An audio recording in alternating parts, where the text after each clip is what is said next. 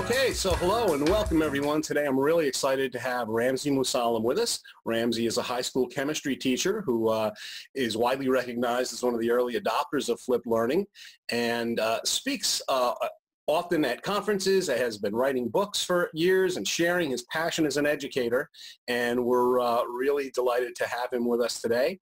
Uh, so welcome, Ramsey. Thank you. Uh, why don't you tell us a little bit more about your background as a teacher as well as all these uh, awesome projects you do sharing your passion? Yeah, I uh, have been a full-time high school science teacher for the last 17 years, uh, 15 of those years at a school in downtown San Francisco where I taught uh, chemistry and biology. Um, now I'm in my second year at Sonoma Academy High School in Santa Rosa, California, where I live with my family in Petaluma. California. And here I'm teaching chemistry, biology, robotics, and I coach our robotics team. Um, and ever since I got my doctorate in 2010, I've been investigating um, curiosity, motivation, and how technology um, intertwines with those constructs. Fantastic. Wow, robotics. That's really neat. Uh, so um, your you know, again, your name comes up a lot in flip learning circles as one of the uh, the, the, pioneers, the early adopters. Uh, why don't you tell us a little bit about how you got involved with that? Yeah, um, chemistry is a really easy subject um, to offload uh, work to video in the sense that it's very algorithmic uh, when they're first learning it. So uh, stepwise uh, video sequences end up working really nicely when helping kids solve problems. Usually a typical chemistry problem involves uh, more than one step. And in something like that, video instruction can be really powerful. So it was a natural fit. Um, it's also a content domain where teachers found themselves starved for time because it takes kids a while to process the subject since they haven't seen it before. It, it's the first time they have to coordinate concepts and algorithms. So uh, we are in like 2006, 2007, as smartboards started to hit the market, um, started leveraging the, the recording feature in that software um, to do it, and it just went from there. Great, great. So yeah, that was uh, certainly the time when almost organically this idea started to appear and uh, folks like yourself started to realize that uh, how easy it had become to, to create content like that. Um, of course, one of the challenges back then, and it comes up a bit still sometimes, particularly in more rural types of areas and socioeconomically challenged areas, um, can be access. Uh, and I imagine that that was uh, certainly a challenge for you back in uh, 06, 07.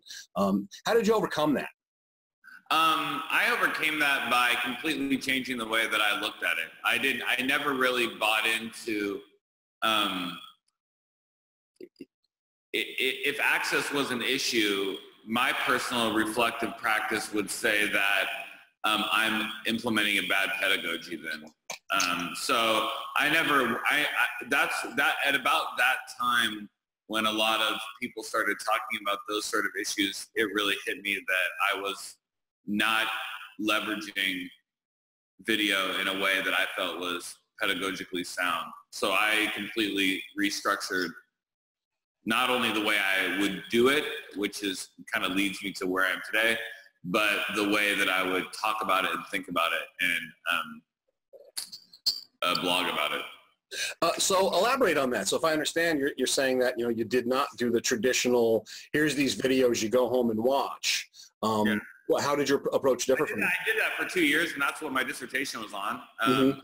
I did that for a long time. Uh, students would, I mean, the working hypothesis, and this is done very well at the college level where students can be already intrinsically motivated. We've done really well at AP level, um, although I, I would still disagree with it when I taught AP. Um, I think the working hypothesis is if kids have more time to do hands-on work and be with their teacher, they're going to learn more. Um, but I think that that's, for me, my opinion is that can, that's sort of an immature look at what learning means. Mm-hmm. Just because they have more time and they're doing it and they're doing more hands-on activities or more projects doesn't really equate to, to learning. Um, so it, what I started thinking about, okay, so what is what is learning? What is intrinsic to learning? And if if I'm saying that the video itself is so important that I'm going to put it on flash drives and burn DVDs and um, give kids wireless routers and all this kind of this kind of stuff, then what I'm saying is that is the pedagogy, that that is the most important thing. Mm-hmm. That's taking all my energy. So um, my, my research showed statistical significance across the groups that where I was offloading the stuff to video, doing the work in the classroom, but uh, qualitative analysis of what was going in the classroom showed no increase in learning uh, and definitely no increase in motivation. Actually, a decrease in motivation the more videos I would do. Mm-hmm. Um, so we started investigating why that was. Um, and really came to the hypothesis that through looking at the theoretical rationale and, and the work of the people that are doing a lot of the research in this is flipped classroom is grounded in this idea that if students, it's really two things. Um, a traditional flipped classroom where you would say, okay, before I do any lecture, you're going to watch it in video, then you're going to come into class. Um, it's really grounded in two things. One, the idea that if they watch it at their own pace um, and it's segmented, that they're, the extraneous cognitive load of the information is going to be lower because they're able to interact with the video and it's more tailored, especially if it's from their teacher's voice. So they're going to take in that lecture more because it's not one on 30, it's one on one. And that sounds really appealing. And that, that can be true. Um, and then it's the idea that if they're doing the harder work in class, not at home with the teacher, because there's now more space, that they're also going to learn more. Um, and those things are true. Like if the teacher is there to do more um, with them, work through the harder problems, see them doing it, there's more formative assessment. And if they're interacting with the video, there's more, um, uh, the cognitive load is lower, there, there's a greater chance that they're going to take in more, more information.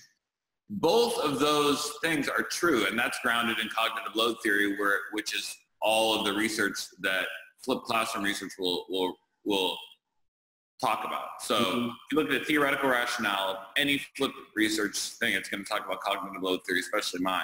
Mm-hmm. Uh, multimedia learning theory, particularly, which is grounded in cognitive load theory. Mm-hmm. Um, so that's one thing. But um, cognitive load theory has a very, very important assumption. And the assumption of cognitive load theory is that all the students are equally motivated to the task. Mm-hmm. So the assumption is that students are going to watch the video and that they're all going to interact with it and the assumption is that when they're in class working through the problems with the teacher, that they want to be doing that. Um, so really, it's just one theory.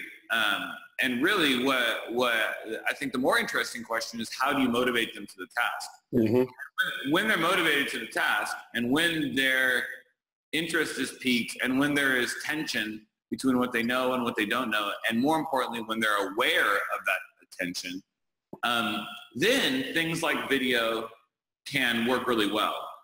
But I think the more important question isn't really where the lecture happens. So it isn't if it happens in a video or if it happens in a book or if it happens in class, it's when it happens. Mm-hmm. So I think the, the real flip in flip learning is flipping when the lecture happens. So delaying the direct instruction to me, um, waiting for a time when students have laid down enough pathways that say, I don't freaking know this. Mm-hmm. I need information. Then give them a video perhaps or give them anything. You know, and that's what my book really talks about. Uh, yeah, so that's awesome. Um, so uh, your book, which well, I had written the title down to, uh, Spark Learning, uh, and I forget the, uh, the, the subtitle, but you know you speak to this so well, and it, it's really fascinating. Uh, you know, I've talked with a lot of early adopters, and um, so often the people that get into flip learning and start to explore this, they're doing it because they want to improve what they do. They very much have a, a passion for doing the right thing by the students and continually improving their game. And I've seen a lot of folks like yourself who it's just a starting point to uh, then initiate some further evolution. And you, you speak very well to that, how uh, it kind of allowed you to, to get deeper and, and you know, get to this underlying need. Um, yeah. So um, tell us a little bit more about your book. Um, yeah, so the book is my TED Talk Unpackaged. Um, and in my TED Talk, I, th- I, talk about three rules that I kind of uh, whittled down to when I, um, when I was kind of doing this transition out of one way of thinking about leveraging technology into sort of a new, more universal way of thinking about how people learn and how mm-hmm. technology mm-hmm. can be a partner in that process or not. Um, so the the book is really unpackaging those rules. The idea that uh, if students aren't curious, um, learning is inauthentic. Um, if if students are then going to be curious about information, if you're going to really set a classroom up to be grounded by student questions, and you have to be ready for um, sort of a messy learning environment, one that isn't, uh, you know, a lot of times if you give kids a video to watch on how to solve a problem and they come to class, they're all going to solve the problem the exact same way, mm-hmm. uh, which is exactly what the pedagogy set it up for. Um, and I should say that one of the reasons why this really works well at college is students have chosen to be there. So they're already, there's a level of natural intrinsic motivation. There's the choosing what school to go to, and then there's the, the signing up for the class on their own. Um, so by the time they get there, um, there's, a, there's more buy-in than there is by a student who's required to be there by law. So the next, and then the following thing would be when you set up an environment where students aren't all doing things the same way as they search towards their, the, their, the desire for a lecture, um, there needs to be some intense reflection on the teacher's part about how to actually deliver that lecture and how to think of it as more spackle. So the book really unpackages that and it concludes by really relating inquiry learning, which is what I'm talking about, to universal themes and motivation that you'll see in movies and film and how in any in anything that's designed to motivate a viewer or a hero, the mentor is never the first thing. It's always sort of couched in the middle of this journey. Um, and I like to think about the video, if I'm going to give it to them, or the lecture as more of just a moment of mentorship. Um, and if that came at the beginning, it really would go against timeless, you know, theories of motivation that we've known forever. Uh, yeah, oh, that's really exciting. I'm, I'm, really looking forward to reading the book. Um, you know, it's interesting that you speak about uh, college students. So I work in a college. Uh, I my full-time role is as a CIO, um, but being at the college brought me to this fascination with teaching, and I've been teaching at, at, at the school. Uh, I teach a freshman level class, and um, these students aren't quite as as motivated uh, when they come in and uh, you know this is something i've been wrestling with a lot that how do we get them to ask the questions? How do we get them to that point? Um, and any particular you know favorite little technique or just something you can drop in there um, that would be somewhat universal to those watching uh, about some of the ways you like to instill that curiosity and and get them to start asking those questions? Yeah i mean i, I would say they're not mine they're they come from the research and we know mm-hmm. a lot more about how to spark students curiosity. There's a lot of direct measurements of curiosity now. And curiosity is is not really like we we think of it we think about it as um, just wanting to know things, but really what it is from a research perspective is the anticipation of a cognitive reward that's created by an information gap. So if a student or a person is aware, and the, the awareness is the key thing, if they are made aware of an information gap, then the brain naturally is going to anticipate the resolution of that gap. And the anticipation of that is a very, uh, you can think about it from an evolutionary perspective. The, the body doesn't like that dissonance. So it's going to do what it needs to do to resolve it. So at that moment that the information gap is noticed, awareness is heightened. So you really can learn anything you want at that moment much better than you could if you weren't aware of that gap. So for example, I could make you aware of an information gap right now, and then I could teach you anything about any, any content domain, and you're gonna learn it better because your, your mind is heightened. It's like that tip of the tongue feeling when you can't remember the lyric to a song. At that moment, if you go and you do some math, you're gonna learn it with, well, you're gonna negotiate the complexity better. Wow. Because you're, you're heightened. So the idea is how do you make students aware of that? So there's a lot of things the research will talk about, and the book actually there's a whole chapter devoted to this and it's going to walk you through the different sparks. Um, you know, one is taking something in your content domain and just removing a little bit of information, just showing an image or showing some, let's say code or showing um, a video clip and covering something up or removing the sound. Um, yeah, simple things like that are, are simple tricks that are, all they're going to say is, well, wait, what's behind that? And then you say, what do you think's behind that? And at that moment, you have a natural thing that everybody loves to do. Um, there's no way, you can't take, there's nobody in the world that doesn't want to know what's behind uh, something that they can't see. It's just yeah. a natural tendency. And if, if what behind that thing is related to the content domain, then what you're doing is driving them to the content domain. Um, another thing is this idea of an anticipated solution. So instead of just withholding information, you could you could stop a scenario early. So this really works well in science, where you might have a phenomena happening, and then you just cut the video off. Um, or there might be a piece of code uh, in robotics, let's say, that doesn't have the, the resolution to it.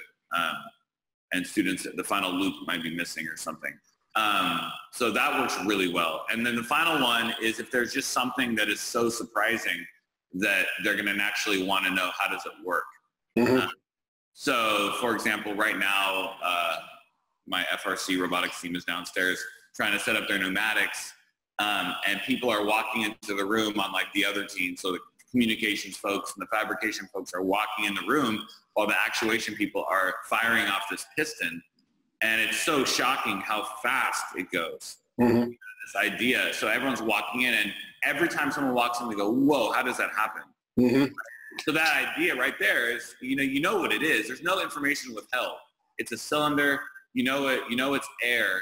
But the idea is how does it how does it how, how does it actually do it that way? Um, so people are gathered around watching. Um, and those are those are three things that are all meant to to tunnel people to the question, uh, you know, what's missing, or what happens, or how does it work. Um, and all of those things are windows into video instruction, if, if you will. But if you if if you don't do that first, then you're really just you're really just saying my job only exists because students are required to go to my class. Right, right.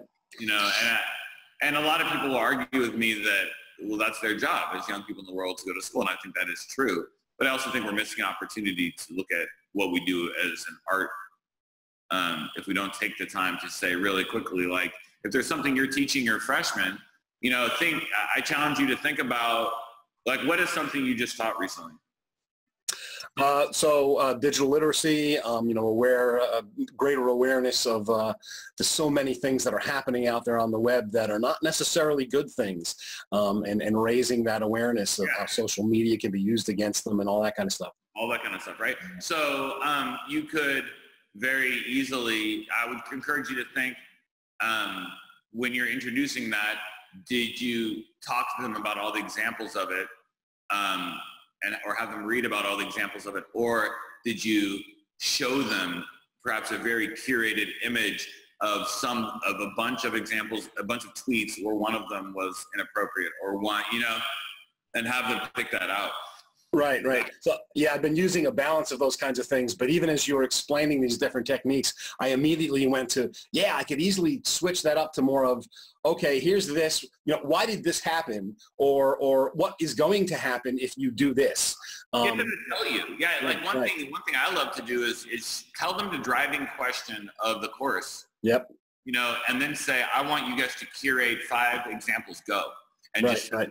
on the board. And the mere fact of like a, a 30 minute countdown timer is going to drive them towards it because they're curious as to whether or not they can do it in 30 seconds, like or 30 minutes. Mm-hmm, mm-hmm. you create tension, um, it's and it's not assessed in the in the in the summative assessment. That tension is always super powerful. That's excellent. That's really interesting. So, so now how, you know, as your practice has evolved and you've got, you've got all these great things going on to, you know, go after what I almost consider the holy grail, right? How do you get students to, to have that interest, to really want to learn that subject? Um, how does, you know, is the idea of flipping just still, you know, a small piece of that? Where is that fitting in the, the scheme of what you're doing? At least the traditional video. All my classes curriculum is, is on my website. So you go to cyclesoflearning.com, mm-hmm. um, and I apologize in a sec, my phone, I'm going to actually walk down to my other classroom where my computer charger is. Is that okay with you? Sure, no problem. Yep. Okay. So I'm, I'm actually walking while I'm talking to you, so that's fine. Um, my all my curriculum is public on my website at cyclesoflearning.com, and then if you go to the tab at the top that says projects, mm-hmm. I kind of like to think of my classes as just projects I'm working on. you'll see one that says honors chemistry. That one is complete. I'm, I'm redoing my curriculum right now. And then you literally just see every single lesson plan is teaching out of that Google site. So I just try and put things in front of the lecture. So you'll see, if you go there, you'll see, you know, prompts where it's like, watch this video clip or let's do this activity. And then you'll see a link that says notes. And the notes always are delayed. That's it. I mean, it's, it's like I try not to micromanage the process. Mm-hmm. Um, and then that moment, you sometimes we won't have time in class to do it. So sometimes I'll record a video of it. And that's basically, and then sometimes I'll record little technical videos of things we've learned that I need them to review. Um, so for me, I would argue like, like I challenge your listeners to say, I'm, I'm, I'm using the word flip totally different. To me, flip means flipping when lecture happens, not where. Mm-hmm. And I think that's just something for people. That, that's the way I am now defining that term. Like it, it used to be putting video in lecture um, or lecture in video and giving it to students, but and that I'm grateful to that. Like that's like you said, it opened the door to a lot of things. I don't discourage anybody, and there's people who do are doing it really, really well. But for me, it led to a new definition of flipped, which is not where the lecture happens, but when it happens. Mm-hmm. The flip for me is saying I'm going to like if you look on my website, you don't see the word notes at the beginning. You would you see the notes in the middle or the end. Mm-hmm. That, that's that's just it. Like I would say most classrooms you go into, the first thing that happens is I do, we do, you do, and then you do activities. Mm-hmm. My class, we're going to do the activities first. And we're going to do all that stuff first. And I and I'm doing that because I want them to not. I, I want them to get it wrong. It sounds bad, but um, really, like my mission is to is to trick kids into getting that they have to be there. And and I think that you you trick them. There's all this like a lot of people want to say you trick them by making everything so engaging, and, but no one ever says what that is. Mm-hmm. Um, and I think engaging, actually, it's it's it doesn't make sense. Engaging isn't fun activities. Engaging is creating an information gap, like, and and asking them to try and fill it. And it, it really like that's where critical thinking comes by putting them in positions where they have to think. Yeah, yeah. They want to answer that question in their head. Yeah, and it, it's it is actually the most engaging thing. Like you look at most board games, trivia, I, any board game that's super engaging, it's because catchphrase, whatever, kids are stuck in a position where they have to have an answer. It's mm-hmm. not like it's engaging because there's a lot of bells and whistles and like ladders and stuff. Right, you've got to figure something out. Yeah, yeah, because mm-hmm. you have to figure something out. And it doesn't mean, and that doesn't have to be an academic, nerdy thing. That's just like the way the mind works, mm-hmm. literally. Well, so, that's, That's great. Really uh, so, you know, what's what's next for you? What do you, what, how, uh, as you continue to evolve, uh, what's on the immediate horizon? Anything in particular yeah, you're thinking about? So I love the school that I'm teaching at right now. I'm in my robotics studio right now. You can see it's really fun. Mm-hmm. Uh, and sitting here in beautiful Santa Rosa, California. We're just recovered from all the fires and everything, and everything's good. Yeah. Um, I love it here. I'm just a full-time teacher, uh, and that's it. That, that's what I want to do. Um, and I try and share that stuff with other teachers um, as much as possible. Um, and that's really it. Like I got four kids, so four. Good Lord, God yeah, bless you. So they have to come first, and mm-hmm. um, I don't. You know, I, I, was traveling a lot after TED, doing a lot of speaking, um, but that was taking me away from the family too much. So mm-hmm. now I'm just trying to be in the classroom and be the best teacher I can be. I mean, I'm redoing my curriculum and trying to learn more. Um, I still feel like I'm a crappy teacher, um, so I'm trying to figure out how to be better, um, and that's kind of where I'm at. Yeah, I, love that, and I hear that so often from from teachers like yourself. That you know, I'm just nowhere near where I want to be. I want to keep yeah. getting better, and yeah. and I think that's really uh, admirable, and, and it makes it fun. And I, I use the same approach in my uh, in my life too. Um, so uh, people can find you online at cyclesoflearning.com. Yep. Um, how about your Twitter uh, handle? It's uh, you'll see a link to it at the top there. It's at ra musallam. Okay. Um, yeah, but it'll be, if you go to cyclesoflearning.com, you'll see the social media links right there at the top. You can subscribe to the newsletter um, and I'll send some stuff out once in a while, ideas, lessons. Um, you could buy the book from the website. There's um, in the, I'm in the process of putting together some online courses. Uh, those will be there under the course tab. Um, yeah, and that's it. Excellent. Well, I will share those links uh, in the video, and I encourage people to go out to uh, Amazon or to your site and look for Spark Learning, the book. And thank you again so much for your time. It was really great to talk with you. Will this be on YouTube or just? Yes, it will. Yep. Okay. Can you send yep. me the link when it's on? Sure. Yeah, it'll, it'll be up on the Flip Learning site, flippedlearning.org, and then it um, delivered through YouTube. Okay. Thank you. All right. Take care.